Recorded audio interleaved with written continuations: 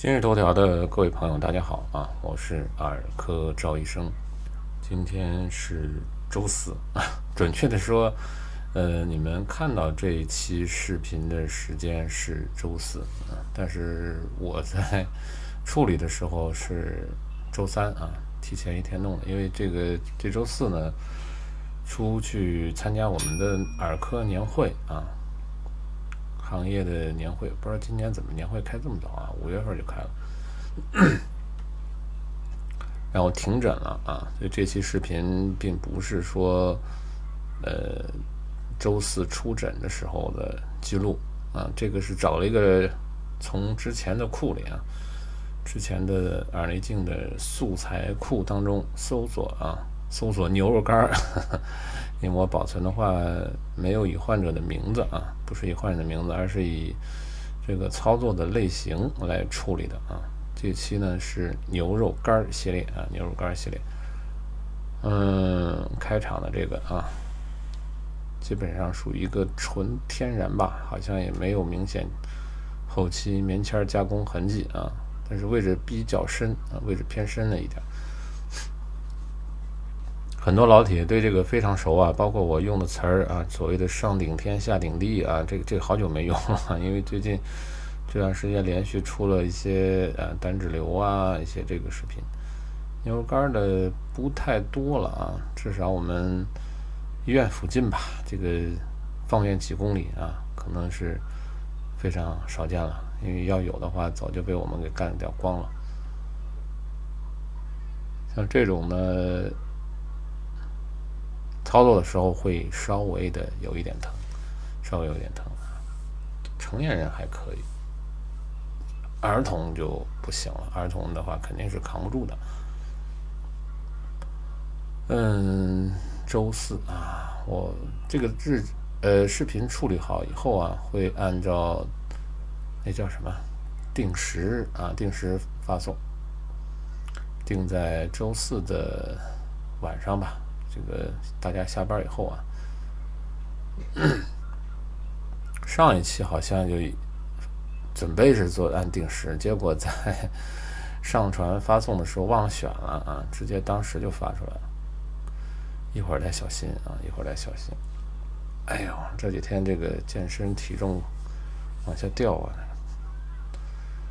腰酸背疼的，不过也是很开心啊，这一个月把体重消到了。十年以前的这个水平很不容易啊，远远超过了我的预期。很多人都在问啊，是什么？有什么这个叫什么？呃，秘诀或者是什么？这个老老实实的管住嘴，迈开腿，然后主要是找一个适合自己的方法啊，然后把时间啊、作息啊调整好，坚持就可以了。每个人的时间，每个人的速度可能不一样。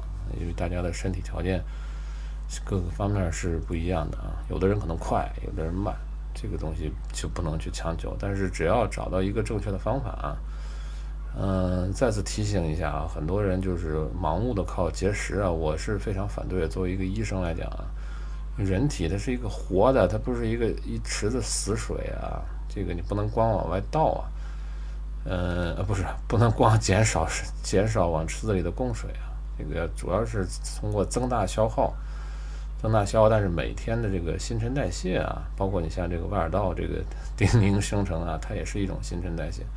每天新陈代谢，我们人体有基础消耗量啊，你要满足这个基础消耗量才行啊。盲目靠着这种什么不吃饭啊，这种这种有点有点，反正我作为医生角度来讲，我是反对的啊。否则那种那种体重确实有些人可能也能减，但是是以牺牲健康为代价，而且你能坚持多久？你光靠饿肚子，你能坚持多久啊？是吧？短期坚持完了，下次什么时候一放松，恢复以前的饮食状态，很容易就弹上去了。所以还是要这是一个生活状态啊。我觉得这个之前我的那个老铁啊跟我说过一件事儿，就这个减重它是一个生活状态，不是说你。一两个月完事儿了，到目标了，然后就又恢复之前了，那个就没有任何意义了。哎呦我，这这个够硬的，这个外耳道就像刀一样的，切了一个小口子啊。这种小的皮肤损伤啊，自然会愈合，呃，这个一外耳道这个皮儿啊相当的薄啊，血管全部在底下。这种它自然啊形成血凝块以后自然干燥，不需要特殊处理。哎，我怎么刚才眼花了嘛？看见一个心形啊，白色的心形。好，这是咱们第一个牛肉干啊，第一个牛肉干，见了点血啊，这个不太多见，偶尔会碰到，因为有一般人这在破之前会比较有明显的这种疼痛反应啊。我主要是根据这个来决定是不是做操作啊。有的人比较能扛，觉得他确实很疼，或者他对我非常信任，因为到我这儿处理的大部分都是在网上看见过的，嗯，所以他对我比较信任，然后能够全程很好的配合啊。这个是加工过的，前面说过那个自然形成，这个一看就棉签捅过的啊。这个不光是上顶天下顶地了，这个上下左右全是满的，就底下稍微我刚才钩这挑出了一个小缝啊。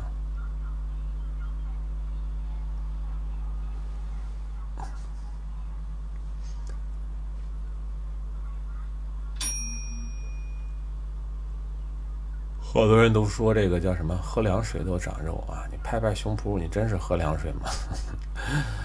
都是一口一口吃出来的啊！胖子不是一天能够出现的，那么你减也不是一天就能减下去，必然把你以前吃的这个舒舒服服的这个过程啊，要不断的消耗掉。身体减下来以后，除了锻炼的时候啊，就是刚练的时候，就是嚯！今天这两期这个搜的都见血了啊！今天就要见血的这个牛肉干了。刚刚还说这个见少啊，也是一滴小血珠。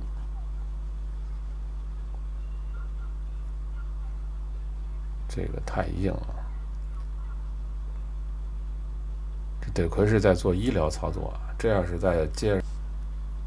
啊，前面两个都破了啊！虽然是一七年的操作，看着还是觉得手法不纯熟啊，不纯熟。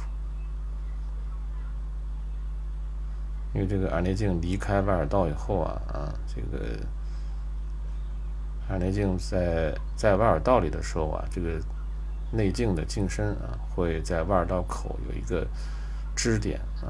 就这么轻微的支一下，就能保持内镜的稳定。现在呢，就没有任何支点，完全悬空啊。患者坐着，我站着，这个手就会有这种颤抖啊。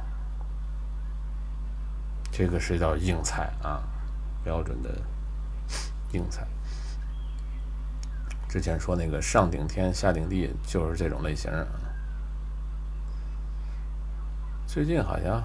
真是一九一八一九这种就少了很多了，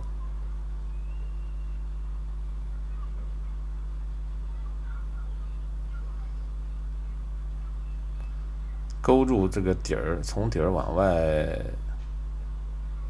带出来啊，从底儿往外带出来。但是这个人好像，这个人好像有点怕疼，感觉啊，从画面我能感觉出患者的反应来，这个人应该是有点怕疼。这个硬拽的话，也会出血啊！这个硬拽也会出血。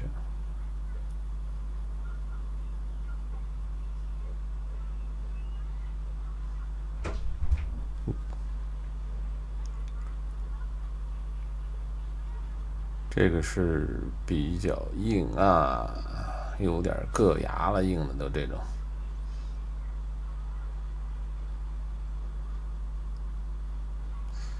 这一七年还是明显的没有经验啊！一七年刚刚做这个内镜操作没多长时间，这个好像一七年年初的啊。这玩意儿拿小圆钳子哪能夹得出来？啊后来有一个这个尖嘴的啊，尖嘴钳带齿儿，那个还相对好一点。当时好像没有，当时好像手里还没有。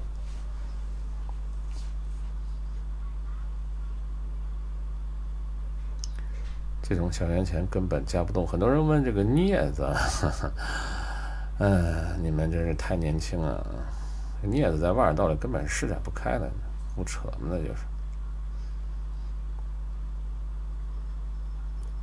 我用的这些器械啊，都是耳科用的一个显微的这种器械啊。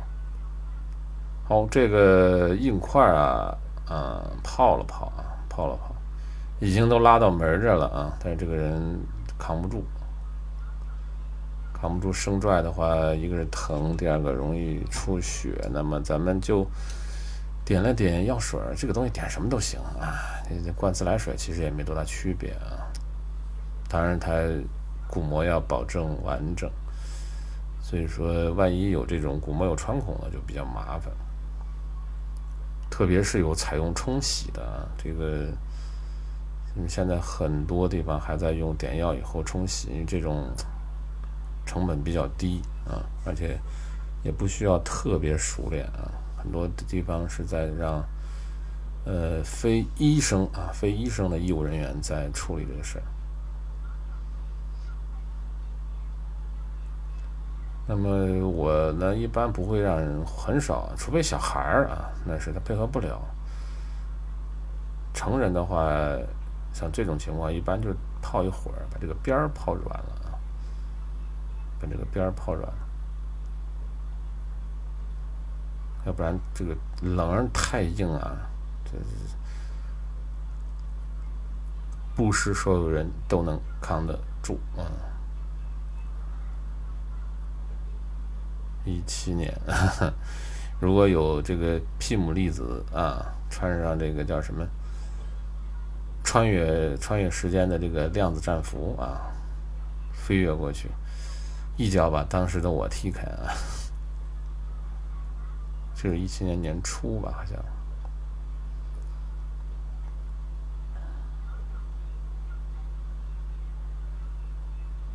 哎，对，就是这种这种小钳子，还稍微能夹得住，那当时就有了，被夹碎了，所以还是得用这个钩针儿啊，钩针从后边，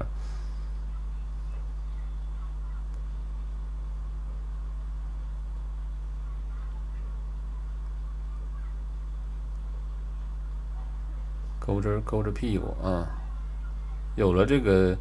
前面这个液体的润滑啊，液体润滑以后，它往外就不那么涩了啊。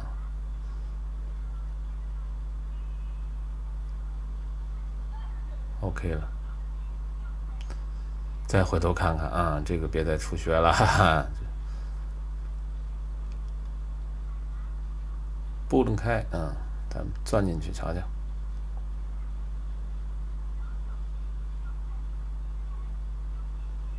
真是要有蚁人这个东西 在里边拿铁锹操作很爽的，嗯，好，今天的视频就到这里结束了啊，下期再见。